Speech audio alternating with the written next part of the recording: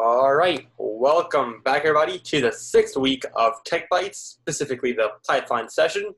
We are glad to see some people have returned after our two week break, in which last we were hosting our first online hackathon with our team at Hack the Lib. If you attended that, we are glad that you did and hopefully you had a great time. But now it's time to get back to some Tech Bytes and learn and make some more cool things.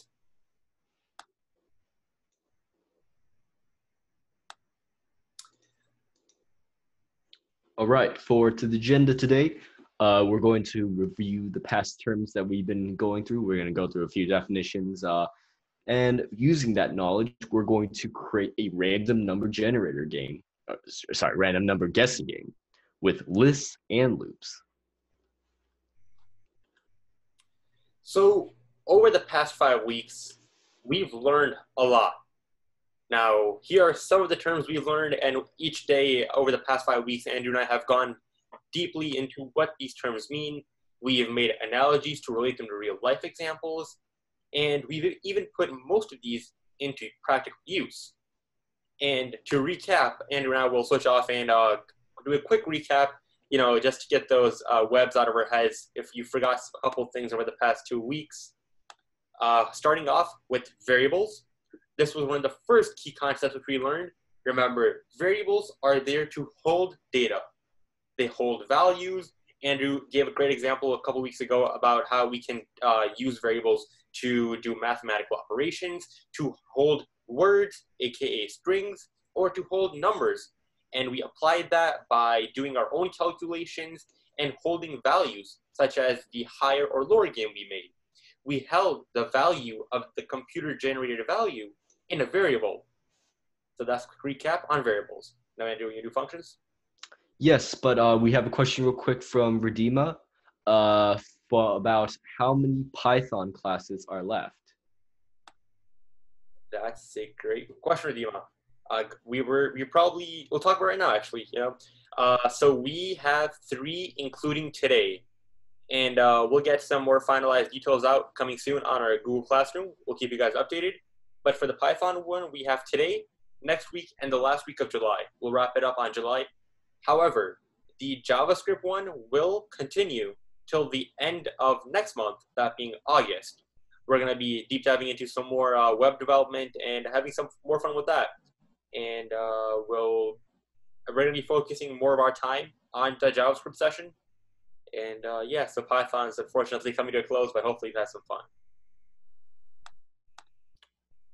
Right, so uh, talking about functions now. So functions, uh, we've always made the analogy that it is akin to say a routine that you have. Uh, we've made a very uh, specific example you might relate to about your parents uh, having you say clean your room, and that's something that you do repeatedly. Uh, you might do that every week or every month the most important part is that it is a segment of your life that you do multiple times. And this is, to a degree, what functions are like.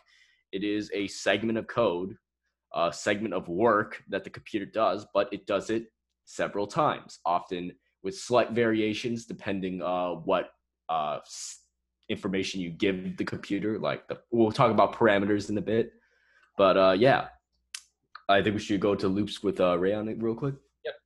So loops, and uh, Andrew will talk about if-else statements, but we try to remember that loops are a way for us to run a piece of code multiple times until a certain condition is met.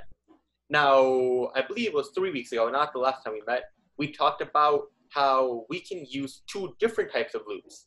Now, what are those two different types of loops? Well, remember, in our higher lower game, we used a while loop, and then we were checking that the code inside of the while loop would run always whenever the computer's generated value did not meet the input value by us, the user. And the second type of loop, which we discussed, was a for loop, through which we could specify a certain number of times, say five or 10 times, for the code inside of the for loop to execute. Now, Andrew and I, uh, you know, make this analogy that the for loop is sort of like a set of actions you have to keep on completing in order before you can do something. So say like your mom is asking you to do some chores before you can hop on and play some video games. Well, that condition is similar to a for loop in which that you have to keep on repeating those actions until the end, in this case, until the condition is met. Now, Andrew will talk about some if else statements. All right, so we've talked about if else statements, uh, usually in the context of control and logic, and that is what if then statements usually are. If you want to perform tasks, like we've said uh, with, for instance, uh, chores, if we're continuing with the chore analogy, you might only do chores if your room is dirty or if the dishwasher is pretty much full you would need that sort of logic to detect uh, whether you should do something in the first place. And that's what if then statements are for. They're for executing and performing tasks only when certain conditions are met. Much like the for loop, but uh, in this case, there's no repeated thing. It is just a singular instance of that action. Yep. And lastly, we got list, which we learned two weeks ago. Now, if you wanna, if you have any like any uh, misconceptions or anything, any questions about uh, list, and we went very in deep into indexes on list, uh, what we can do with list, different uh, putting values into list, all uh, two weeks ago. So if you want to check out that video on YouTube, we have that up. But a quick overview, lists are a way for us to hold a group of values which are of the same type in one area. So say we want to, like today we will, we're going to put a bunch of numbers into a list or an array. And remember, one of the key distinctions which we made was that you can, you shouldn't at least, in Python, put two different types into the same list. So what does that mean? For example, you shouldn't put the number 20 and your name into the same list in that sense. And we'll um, do some more examples today with list in our uh, new game we're going to be making. But um, other than that, let's get into it. So if everybody can open up the website that we code on, I'll leave the link on for a couple more seconds.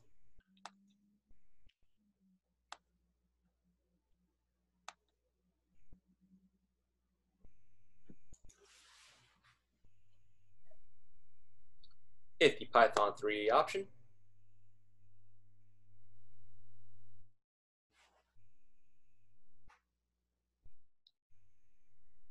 And can everybody confirm that they are good so we can get started?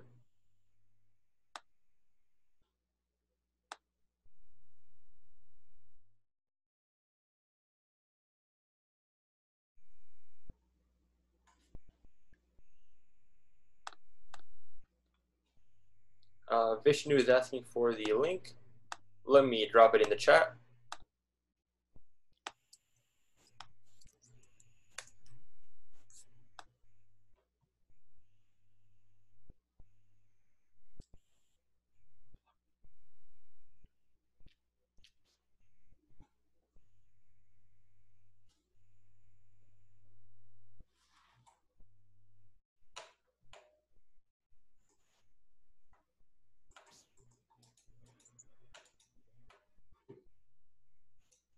All right, is everybody good?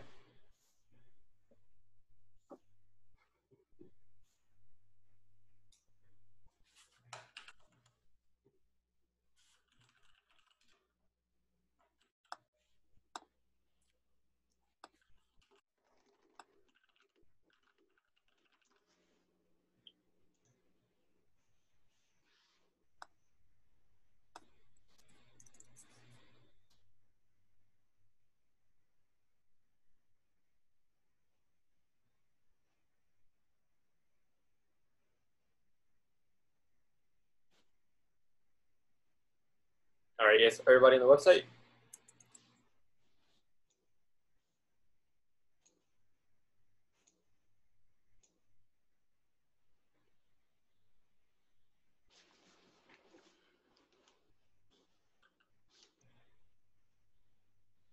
Great, all right. So let's get started. So today we're going to be making a different type of game in which it's although I wouldn't say it's the most fun game which we made. If you want to do some of the more fun games, it's like the higher lower game, the quiz game which we made. But today uh, we want to make a like sort of a game project which sort of encapsulates, brings together all the concepts which we've learned into one project. And what we're going to be doing essentially is making a random number guessing game. Now, what does that entail? Well, basically, what we're going to do is uh, we're going to have a list filled with a bunch of numbers. Then we're going to ask us, the user, to input a number, and then we're going to loop over the list in order to compare if the inputted value of the user matches any value inside of the list. And uh, this way, we'll be using variables, functions, uh, if else statements, for loops, and lists. So, Andrew, I'll get started and then I'll give you the remote control uh, whenever you want. All right. All right. So, first thing is first, we have to create a variable to get, or how about we first actually initialize our list and then we'll ask the user to input some values. So, if everybody wants to head on over to the list tab, drag and drop the first list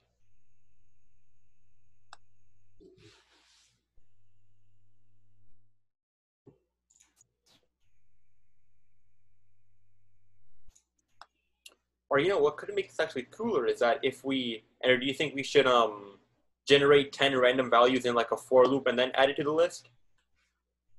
We're do are we doing like with words or numbers? Uh, just numbers. All right uh i think yeah let's go the extra mile uh generate those random okay, numbers. let's uh have a bit have a bit more fun because this IDE allows us to. So instead of us putting values like uh, like uh, me, like myself putting one, two, three, four, five into the list, we're going to generate some random values and then add them to the list.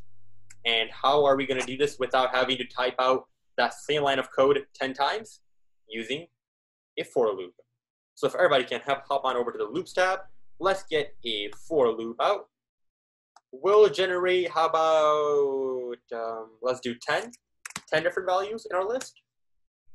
Hit enter, and then we will head on over to create a variable. We'll call it uh, random number generated, or whatever you want to call it. Drag that in there.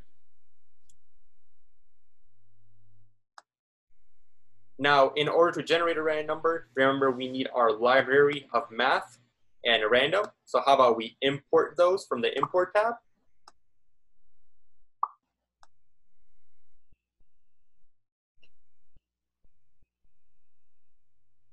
Next, we got to actually generate the random number instead of just having it set equal to zero every time.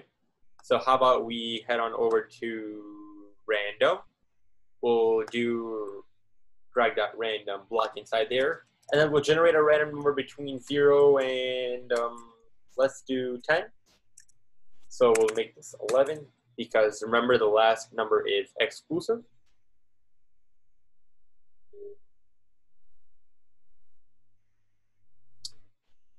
Now, uh, before I go a bit deeper, let's just see how this actually works and print out our variable, random number generated. So if I do print, random number generated, this is just so that we can see that there's actually 10 different values being generated.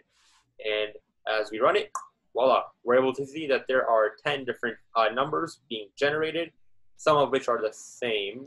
We might want to say that's actually inclusive instead of like exclusive. Oh, yeah. yeah, so like 10 so false alarm there. It is actually uh, inclusive. Yep. So that means that we will get the 100 value uh, as a possible value. Yep. So now we're able to see that we get 10 different values being printed out. Now, that's cool. We're able to get 10 different values, but remember, we got to hold them in an area. Now, where do we hold this, this data? Well, in a list.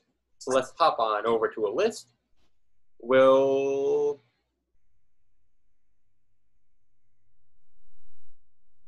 drag this command right here.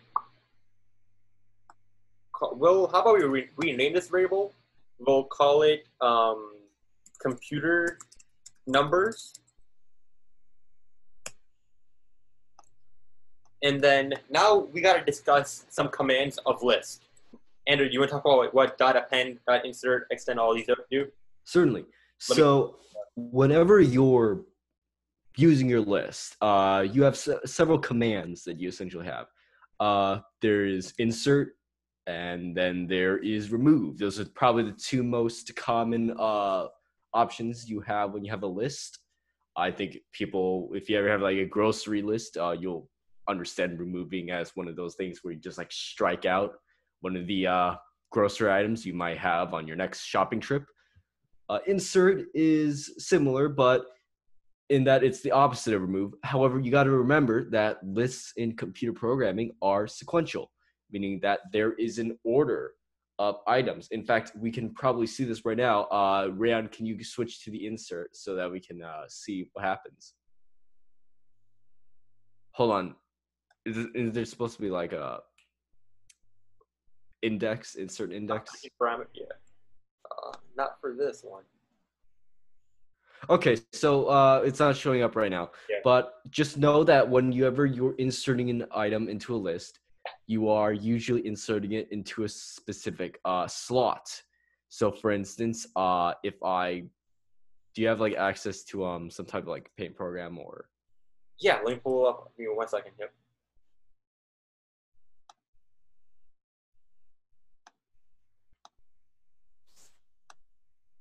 Let me pull up an ID real quick, or uh, an online. all right.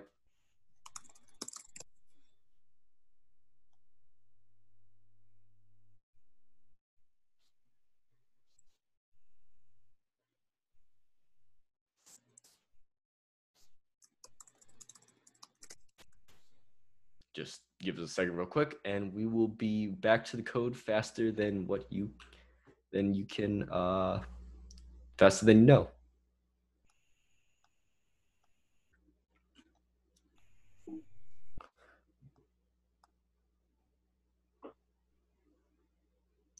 Oh wait, I said like like some type of drawing program. Oh, you went drawing program. Oh, okay. I thought you went to actually code it out. Okay. No, they don't know how. I, we haven't taught Python coding yet. Uh, I believe you can do that from your end, Andrew. If you hit share screen, whiteboard. Okay, yeah, I- should probably just do that right now. Um, There you go. yep. Uh, You're right. Good.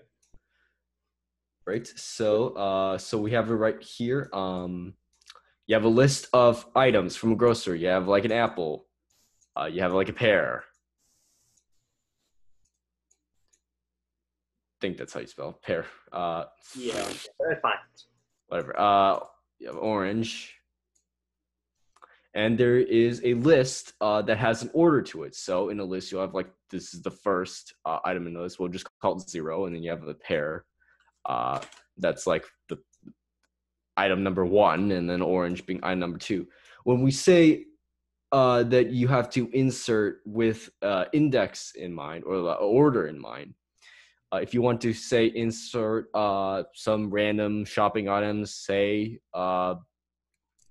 just like it's a random one off the top of my head, uh, something like well, called snacks.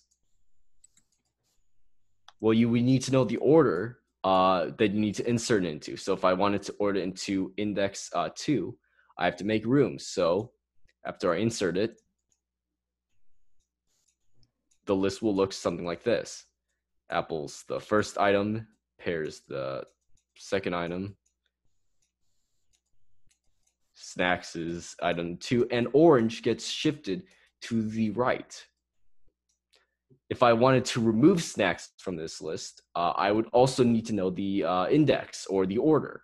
So uh, if i want to remove snacks i would need to remove it uh, remove index number two. So it would actually just revert back to something like this because orange gets shifted back into its original place. Now, a lot of that that that is actually a lot to like keep in mind the index. So what programmers usually do, and uh, let me stop screen sharing and go back to Rayaan's screen. Yep.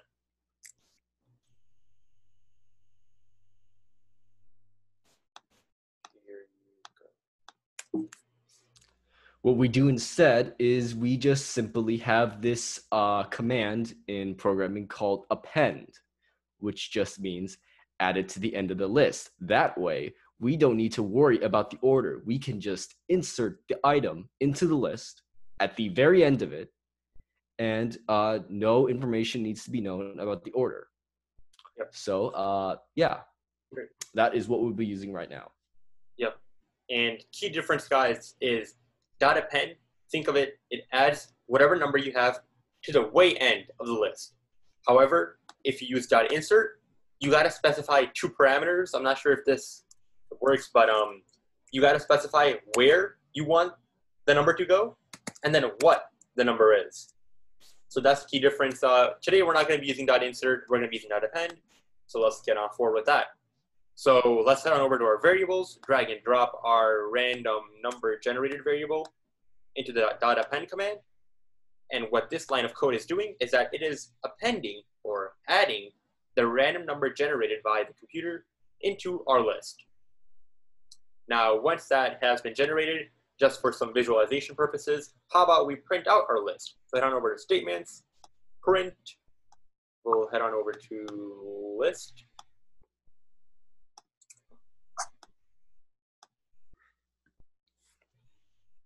Oh, okay. How about we just print the index? Okay, how about we do this then? We'll head on over to list, drag and drop that, this circular list command into our print statement,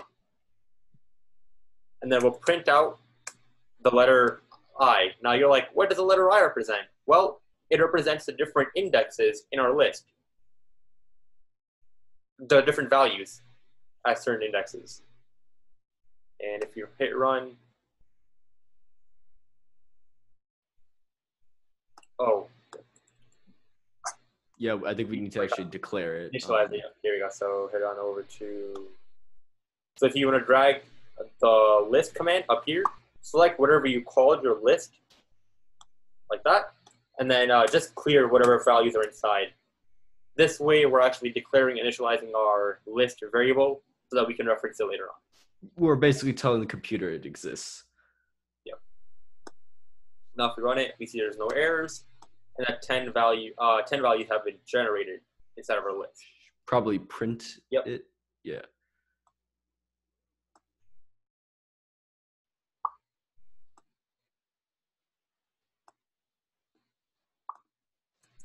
See this? Oh. Oh. All right. And there we that, go. That is the list. Yep. So now we're able to see that these are 10 different values being printed out, and all these 10 values have been inserted into our list. Now, step one of the game, I'm just going to delete this line That's for some nice looking purposes on the console, but um, we got our first part of the game done. We've generated the 10 random values, and now comes the part where we gotta first get the user input, and then we gotta loop over the list, comparing the user input to each value at the certain index on the list. So how about we hop on over to our variables, create a new variable, we'll call it user input, drag and drop that thing down there, But now we got to get an input, remember? Like we did for the higher or lower game. We got to go to statements, input, drag that in there. Ask any question you want, such as what is your number guess? I'll put in here. We also need to uh, change the uh, type. Indeed.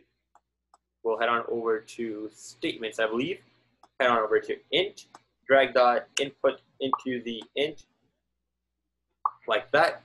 And like we've done previously, guys, the reason why we're doing this, once again, is because we want to make sure that we're not comparing apples to oranges in the sense that we're not comparing words to numbers and making sure that whatever input you put is an actual number. So if you want to actually run this, um, I'll print out our variable. You don't have to do this. I'm just going to show you guys for some visual purposes. See if this works. We put asking a number, we put five, it prints out five. All right, so now comes the last part in our game, that being the actual looping over the list and comparing the two values. So how about we, Andrew, do you want to take this part? Certainly. Uh, let us do that now. All right, you shift control. All right, so now what we're going to do is we are going to loop uh, several times over the values and each time inputting a guess. So uh, in order to do that, we're going to need another loop.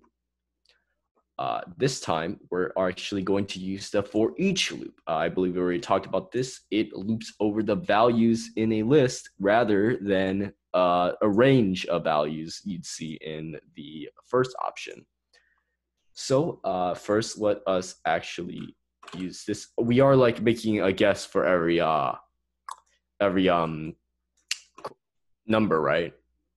Um, I thought we just do a one number and then we'll print out um, if that number exists in the list. Okay, okay. Uh, apologies for that. Um, let me just like fix that real quick. It is simple as putting it over there. Make our guess. So let's actually make our uh uh name our variables. So if we want to call uh computer numbers, uh yes, a single uh number would be just computer number. You can name it uh pretty much anything you can think sensible. Uh, I'm just gonna write down the singular form. And just as a quick, recap, computer number is a single item in computer numbers. So if right now we actually uh, were to take a look at what that looks like, let me get out the um, statement so I can actually print it. So if we do this right now, computer number, it will show us the, it will go in order in the list and uh, check and see all of the separate numbers. Let me just get through this uh, part. So you see that uh, right there, it went through each item in the list and it got uh, in the form of computer number. Now uh, we need to actually check whether it is in, whether it matches our user input. So in order to do that, we need a bit of logic or an if statement in this case.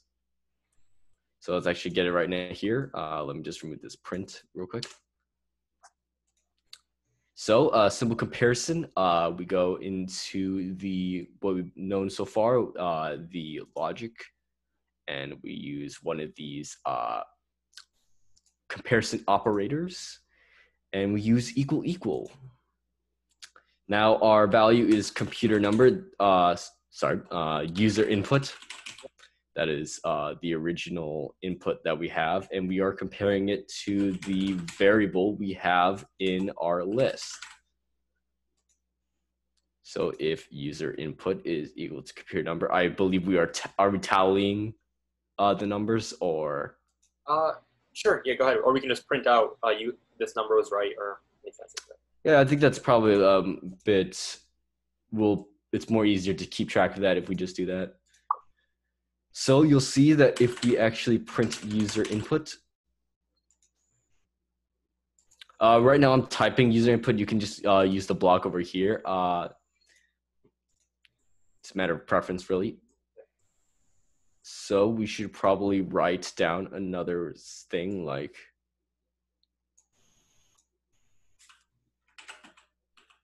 you got uh, you guessed hold on. A correct answer or i guess a correct computer number? And if we do that right now uh, just to make this easier on us i'm not going to actually do it from 0 to 100 i think it would probably be easier if it was 0 to 10 or hmm, 0 to 30 gives us better chance of guessing the correct number. So we aren't left guessing for a while uh, so if you did that all right, uh, we will see that if I'm just gonna guess 20 right now. So yes, it guesses uh, correct computer number 20. And if we were to use a more concise range, say zero to five, it will actually print it out multiple times because we actually have multiple copies of that number in the list. So if we run it right now, uh, just one, Oh, doesn't exist. Doesn't exist. That's very rare. Uh, sometimes when you're dealing with random numbers, that's just gonna happen. Boy. Finger slip there. Uh, no big deal. Just run it again. And you'll see that sure enough, there are multiple instances of one in the computer number list. All right. I think I should pass control back to you, Rayaan. Yep. Great. So there we go, guys. We'll be sure uh, if you had any trouble or anything, we'll be sure to print. Uh, print. I mean, we'll be sure to post our uh, whole solution, the whole project finished on a Google Classroom as always. And uh, that is a wrap for this specific project. And just to highlight, we went over for loops. We went over two different types of for loops actually, and used lists, random numbers, and variables in order to make a game in which we actually were able to guess a number inside of a list. And yeah, so hopefully you can see how loops and arrays, aka list, are able to combine and intertwine really nicely. And it's something which you will see comes very advantageously as you computer program even more. So that is that. Let me pull up our next one. I believe uh, next time um, we will be starting out a uh, more typing based one. Uh, you'll see the yeah right here for a goal for next week. Uh, we will start transitioning to typing code. Uh, this will be one of the focuses for the last three weeks of this course. We will be starting out, uh, getting you used to actually writing down the code instead of dragging uh, blocks. So hopefully you'll get a lot out of that soon. And uh, we're not going to do too much, go too in deep like we're going into the JavaScript session, but um, we're going to make sure to go over some of the fundamentals we've learned, like the for loops and variables, functions in uh, typing code. So be excited for that next week, making a big jump. And other than that, I think that is a wrap for today. Hopefully you guys enjoyed. As always, stay tuned in our Google Classroom for any updates and uh, tell more tell more of your friends to join, and hopefully you had a good time. Take care. See you guys. Hi. Hi.